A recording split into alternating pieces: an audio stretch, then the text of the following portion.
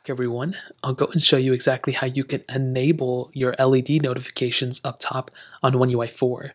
Now Samsung has made things a little bit different nowadays. It used to be a lot easier before with a lot more customizability, but I'll go and show you exactly how to do this.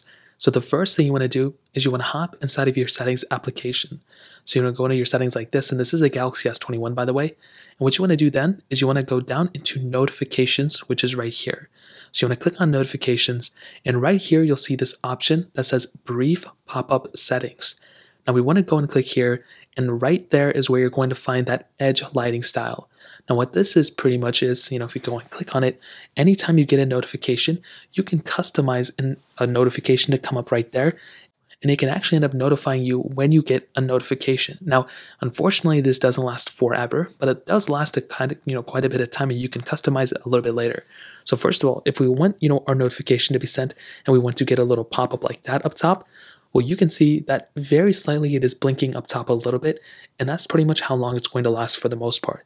You can also get a glow around your device as well, so you can see it's slightly glowing. It's a little hard to tell because it's so bright, but my favorite one out of all of them is definitely the spotlight one. So if you click on spotlight, you can see very prominent blinking up top.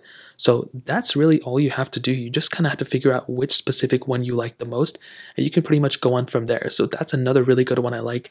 Now, if you want to change the color of that notification, we can go ahead and change it here. You can change it to automatic color, or you can change the color right here.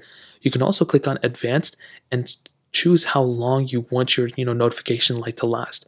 So most people I think want this thing to be as long as possible. So in this case, we'll go and set that to long. So that will pretty much lasting much longer than you may think. So you can see it just lasted longer. Now I like setting this transparency low just because it you know ends up lasting a little bit better for the most part. But that's really all you have to do. And at that point, once you have a setup, your notifications will go ahead and go through and you can go ahead and be notified via the LED up top or LED screen for the most part when you get those notifications. So that's pretty much it. That's how to do it. If you guys have any other questions or anything like that, let me know in the comment section below hit the like button, that would mean so much, but definitely hit that subscribe button. More importantly, everything else, I love every single one of you guys. Hopefully I'll catch you guys in the next video. Peace out till then.